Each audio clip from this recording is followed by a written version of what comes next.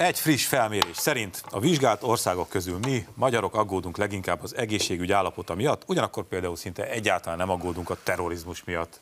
Én azt tapasztalom, hogy a másik valóságban, mintha pont fordítva lenne. Szóval arra gondoltam, hogy itt a műsor végén megkérdezem tőletek, hogy ti mi miatt aggódtok a leginkább.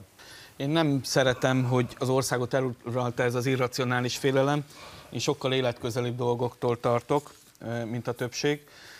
Nem vagyok beteg, így nem aggaszt az egészségügy helyzete. Nem vagyok fideszes, ezért nem érdekel a korrupció. Már nem tanulok, így nem aggódok az oktatás helyzete miatt, viszont attól, hogy Soros György pártja, az SGP elindulhat a választásoktól, azoktól egyenesen rettegek.